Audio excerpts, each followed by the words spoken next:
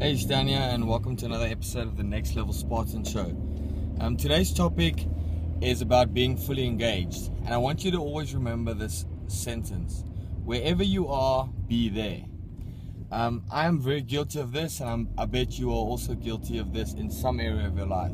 Okay, when you're at, at home, and let's say for instance you have your own business. Okay, you're at home, sitting at the breakfast table, you having breakfast with your family, and you're not actually fully engaged with them. You're not really, even though they're talking to you and you might be talking to them, you're not really listening. You're already thinking about what you're going to do at work or what you still need to do during the day.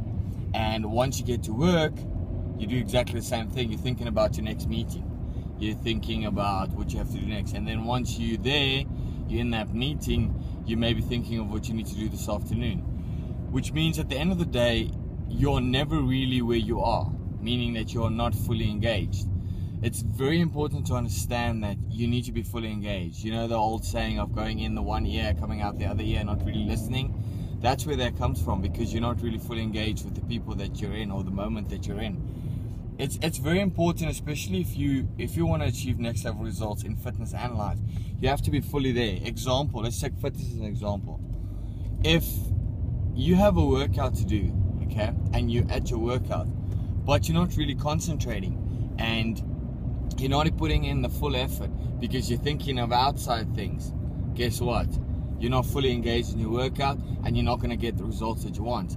If you're in a very, very important meeting, but you're stressing or thinking about other things, let's say, for instance, things at home with your relationship or whatever, you're not really going to pick up the small, subtle things, tips, or whatever in that meeting, which is going to help you push to the next level, either in your work or in your business.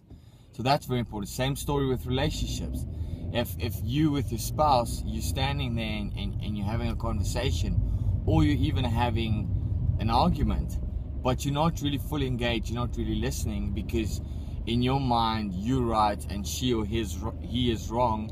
Guess what? You're not fully engaged, and that can definitely not have a positive outcome on your relationship, but only have a negative outcome.